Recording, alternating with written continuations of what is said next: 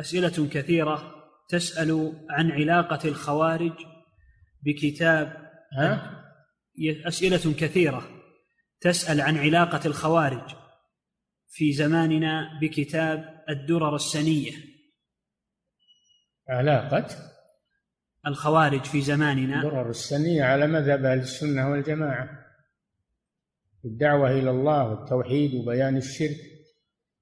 لا علاقة للخوارج بها.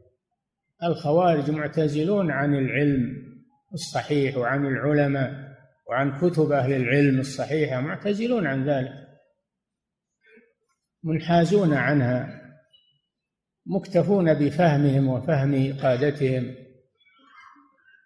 فهم ليسوا على ما في الدرر السنية هذا كذب. الدرر السنية لا تأمر بالخروج. الدرر السنية لا تأمر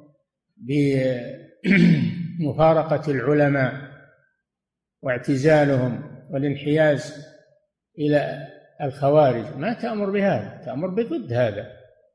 نعم.